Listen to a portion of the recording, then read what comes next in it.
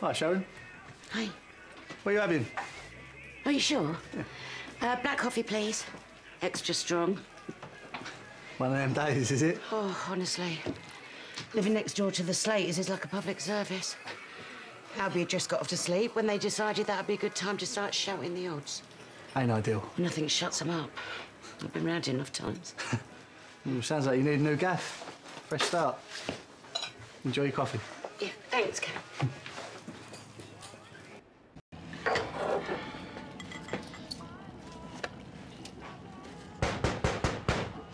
Who's that?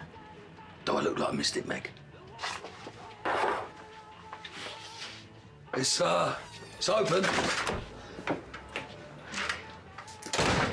I'm a 51-year-old single mother with nothing to show for it. Most people start with good morning. I need to leave something for my son. Something to be proud of. And this is my problem. How? Well, you said you'd look out for me. You promised. I want in on your money laundering. I ain't joking, Phil. You don't know the first thing about it. You can teach me.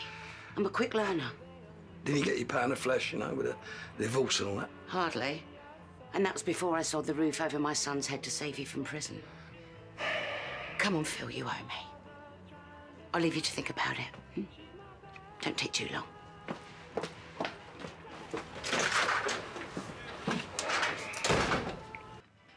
I'm busy. Busy what? Ripping off my old man, Sharon?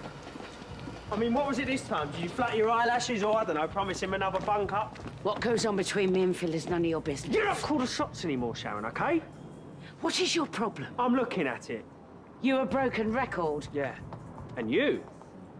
You're just a trophy on some poor man's arm. Right. I might be a trophy. But you're just a pound shop Phil Mitchell who's never stepped out of his daddy's shadow. Do you really think anyone would take you seriously if you didn't share the same surname? No. No, I didn't think so, darling.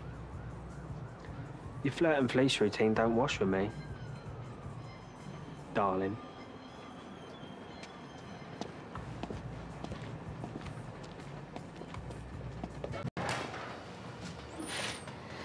Hi. Could have just texted.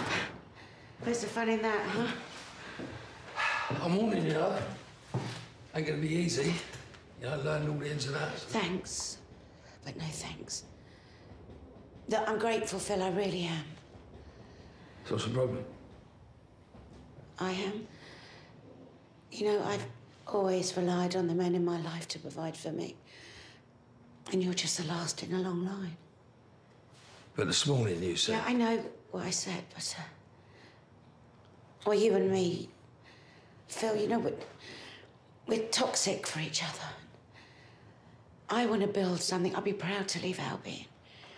But it has to be on my terms. If that's how you feel. You cast a long shadow, Phil. It's time I stepped out of it.